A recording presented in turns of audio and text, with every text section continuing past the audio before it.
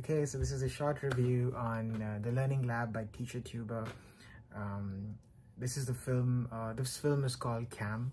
Um, it's basically a psychological horror film um, where an, I an individual's identity is stolen online and uh, a software has been created that can almost create um, a real life look-alike version of that individual and uh, act like that person in an online environment.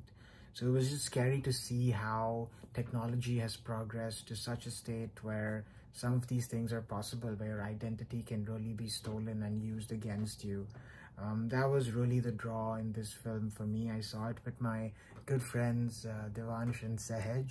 Shout out to them. Um, I know one of them will watch this video and I really enjoyed watching this film with them. Um, that was the part of the film that I really liked. Um, it had, this film had its um, highs and lows. Um, and uh, I think it had a lot of points where it really got you reflecting on the, the role of technology in society um, and how, you know, technology gives you access, but it also gives people unprecedented um, access to your life um, in different ways with the data you provide certain websites.